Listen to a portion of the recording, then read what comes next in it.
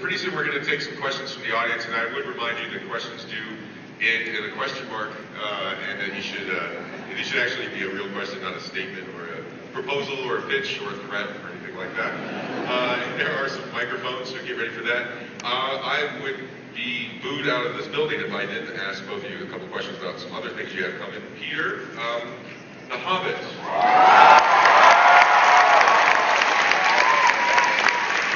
How's that?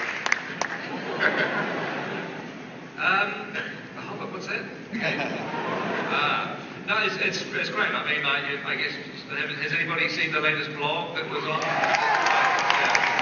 Uh, you know, I'm having a hell of a time. Uh, you know, the, the delightful thing with The Hobbit, honestly, is that it's, I'm enjoying it way, way more than I ever thought I would, and I'm so pleased that I'm doing it. It's literally, I'm having a blast. I'm having a blast. I mean, we're, it, it's, it's an interesting way to, um, to make a, a movie like that, having because we're in a, a short break now. We start um, shooting it in a few weeks' time. We, we, we resume shooting it in a three weeks' time. We've done 60 days of shooting and got another just about 200 to go. So almost there. Um, but when, when we uh, when we set out, uh, we wanted to, to, to cast Martin Freeman as Bilbo. Literally couldn't think of anybody else better.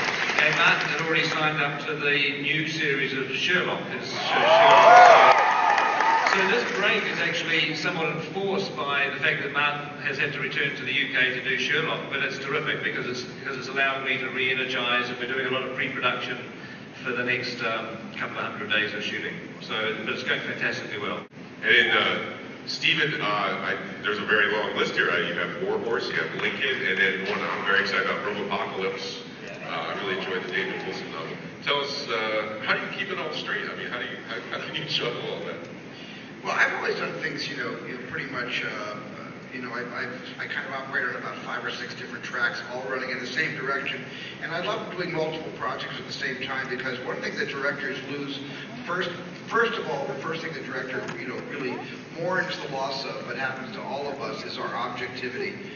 And, and I find that when I do more than one project at the same time, I can go away and work a bit on, on Lincoln and then let's say come back to post-production on Warhorse and really see it for the first time. So I use the projects to really you know, create some clarity in the way I can return and see what I can change, what I can shorten, what how I can make it better. So it, it's actually been a benefit to me, not a, not a, not a deterrent. Oh, that's fantastic.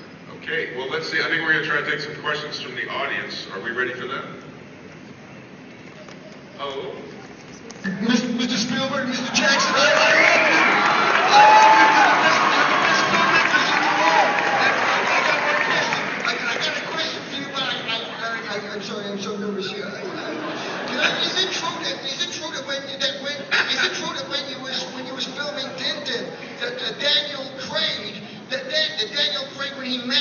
Eastwood, that he was he wearing mocap tights?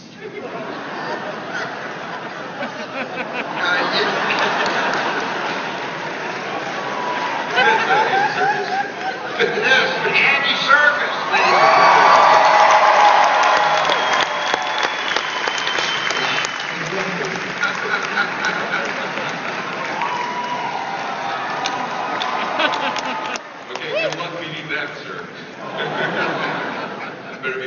Um, well, it was it was an interesting choice because there is 24 Tintin adventures and and they, and they're all different. I mean, they go to different parts of the world. Some of them are even different tones, different um, themes. But we wanted to start um, the cinematic uh, life of Tintin, as you could say, with a story that brought Captain Haddock and Tintin together, because for us that relationship was, was critical. And even though Hergé um, started the Tintin series without Captain Haddock in the 1930s, by, um, by 1939, 1940, he had developed the Captain Haddock character. And so we wanted that, that meeting between those two to be part of the first film.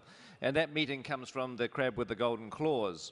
So we've taken a section of that and we've grafted it into The Secret of the Unicorn as the, the body of the film, if you like, as the central part of the, of the mystery. And, and, and The Secret of the Unicorn was really chosen for various reasons. I mean, it was a great plot, it was a great story, and, and Stephen and I thought of ways in which we could expand and develop it a little, little further, even to make, you know, turn the book into a movie. But it also, having developed um, this, this, the, the beginnings of this relationship with Haddock and Tintin, the Secret of the Unicorn goes into Haddock's uh, backstory. His ancestry is part of is inherently part of the plot, and so that appealed to us because that you know that character of Haddock is being established um, in the movie. So it seemed to make sense to to start with that with, with those that, the combination of those two stories.